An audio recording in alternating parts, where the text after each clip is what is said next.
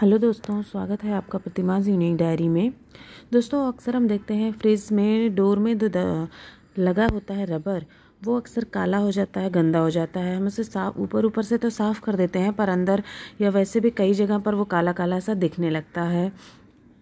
तो इस वीडियो में आइए, हम आपको बताने वाले हैं कि उस रबर को आपको कैसे साफ़ करना है, किस तरीके से आप उसे, किन ट्रिक्स को आजमा के साफ़ करें, जिससे वो पहले से नए जैसा चमकने लगेगा। तो दोस्तों, फ्रिज के दरवाजे में लगे रबड़ को साफ़ करने के लिए इसे बाहर निकालना ज़रूरी होता है। इसके लिए फ्रिज के दरवाजे को टाइट पकड़ें और फिर रबड़ को एक कॉर्नर से पकड़कर बाहर निकाल लें। इसे आराम से आसानी से खींचकर बाहर निकाल सकते हैं। इसके बाद साफ़ करने के लिए आसानी से वापस भी लगा सकते हैं। एक तरीका तो है बेकिंग सोडा से फ्रिज के रबड़ को साफ़ करने का।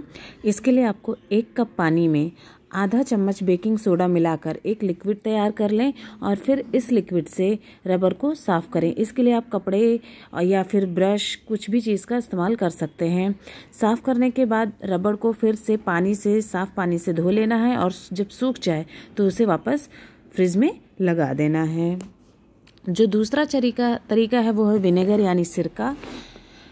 फ्रीज के दरवाजे में लगे रबर को अगर लंबे समय तक नहीं साफ़ करने पर गंदगी की वजह से चिपचिपा भी हो जाता है, जिसे साफ़ करने के लिए विनेगर का इस्तेमाल कर सकते हैं। इसके लिए आप विनेगर यानी सिरके को पानी में मिलाकर या फिर डायरेक्ट कपड़े या ब्रश की मदद से साफ़ कर सकते हैं। और अगेन उसको साफ़ करने के बाद आपको साफ़ पानी से धोकर, सुखाकर वापस लगा देना है। इसके साथ साथ तीसरा तरीका है डिटर्जेंट, जिससे भी आप डिटर्जेंट से भी रबड़ की गंदगी दूर कर सकते हैं।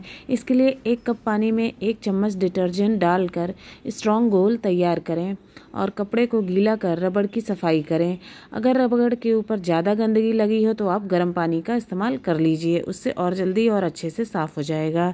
इसके बाद अच्छे से धो लेना है और सुखाकर फ्रिज के दरवाजे में लगा देना है। तो दोस्तों, ये कुछ ट्रिक्स से तीन तीन या चार, जिनसे आप फ्रिज के रबड़ को आसानी से साफ़ कर सकते हैं।